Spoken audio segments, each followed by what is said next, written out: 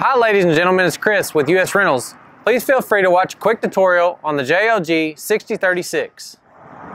This here is a JLG 6036 with a capability of a 6,000 pound lift and a 36 foot reach. Please step closer and watch as I show you the controls of the machine.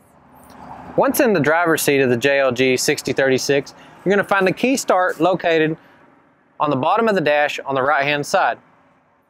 Once you familiarize yourself with the machine, I want to go over a quick action on what the switches are on the control panel.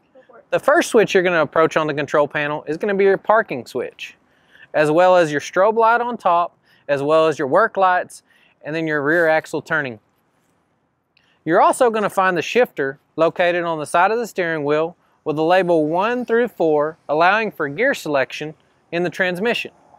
To place in the forward motion, you're going to pull the handle up and slide in the forward position. To place the machine in the reverse, you're going to pull the handle up and slide in the reverse position. On the right hand side of the machine, you're going to find the controls as well as the boom control. The first control that you're going to come to allows for the tilting of the machine in the left or right position for all those tight to reach places. The next lever you're going to locate is for the accessories on the end of the boom.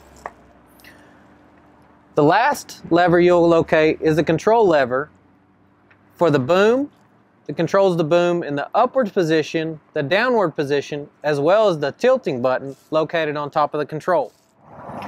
This particular machine has a 6,000 pound capacity pickup, as well as we also offer a 5,000 pound capacity pickup.